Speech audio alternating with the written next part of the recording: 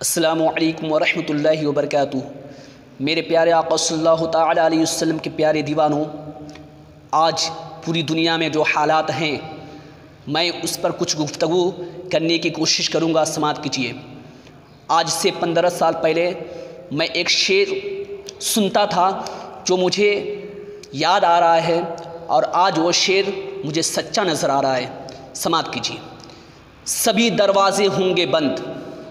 سبھی دروازے ہوں گے بند، تو یہ فیصلہ ہوگا۔ سبھی دروازے ہوں گے بند، تو یہ فیصلہ ہوگا۔ چلو توبہ کرے، توبہ کا دروازہ کھلا ہوگا۔ چلو توبہ کرے توبہ کا دروازہ کھلا ہوا۔ آج ہمارے اعمال اتنے خراب ہیں کہ ہم اپنے دنیا حاصل کرنے میں اس قدر غافل ہو گئے کہ نہ تو ہمیں اللہ کی عبادت کا خیال رہا، نہ مصطفیٰ چان رحمت صلی اللہ تعالیٰ علیہ وسلم کی محبت کا ہمیں خیال رہا۔ اور انسان جب گناہ کرتا ہے اور گناہ کرنے کا احساس بھی نہیں رکھتا ہے اور گناہ کا احساس بھی ختم ہو جاتا ہے، تو پھر اللہ تعالیٰ ایسی قوم پر اپنا قہر و قذب ناصل فرما دیتا ہے۔ اللہ تعالیٰ قرآن عظیم میں اشار فرماتا ہے کہ میں بندے کو ڈھیل دیتا ہوں، لیکن جب بندہ گناہ کے دلدل میں پھنستا چلا جاتا ہے اور گناہ کرنے کے ساتھ ساتھ میں گناہ کا احساس بھی اس کے اندر سے فنا ہو جاتا ہے، تو پھر انا بدش اور رب شدید تو تمہارے رب کی پکڑ پھر سخت ہو جاتی ہے۔ اور اللہ تعالیٰ بندوں کو پھر عذاب میں گرفتار فرما دیتا ہے۔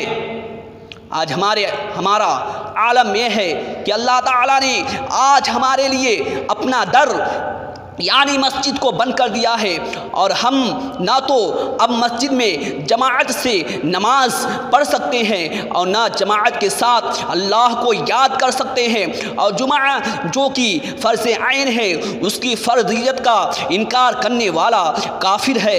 ایسی عظیم ترین جمعہ کی نماز با جماعت سے ہم محروم ہو گئے اور اللہ تعالیٰ نے اس جمعہ کی با جماعت نماز سے بھی ہمیں محروم کر دیا۔ اور حال تو یہ ہے کہ اب رمضان مقدس آ رہا ہے، جو کہ عظیم بابرکت مقدس مہینہ ہے۔ اب اس مہینے میں بھی ہم اکیلے فردن فردن اپنے گھروں میں رہ کر جو بھی نماز روزہ کر سکتے ہیں کریں گے۔ لیکن وہ مزہ کہاں؟ اور وہ لطف کہاں؟ جو جماعت کے ساتھ نماز پڑھنے میں اور جماعت کے ساتھ اللہ سے دعا کرنے میں لطف تھا۔ اب وہ مزہ نہیں رہا، بلکہ اللہ تعالی تعالیٰ نے ہمیں اس بات کا احساس دلایا کہ تم اگر مجھ سے دوری بنا لوگے تو میں تمہاری زندگی تنگ کر دوں گا۔